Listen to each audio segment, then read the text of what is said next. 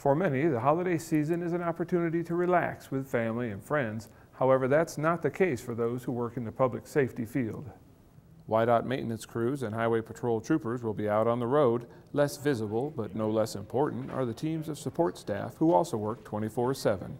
We try to make sure that every console in here is filled, every phone is manned so that when people call for us, we're here.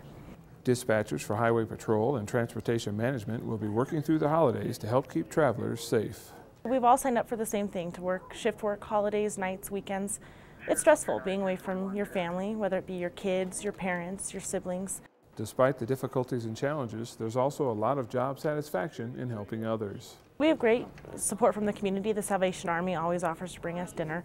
We get phone calls from ex-troopers, ex-dispatchers, you know, even emails saying, you know, thank you for doing what you're doing while everybody else is at home. You guys are making sure the public is safe and everyone on the highways is taken care of. Reminding you if there's ice and snow, take it slow and always buckle up. This is Doug McGee reporting.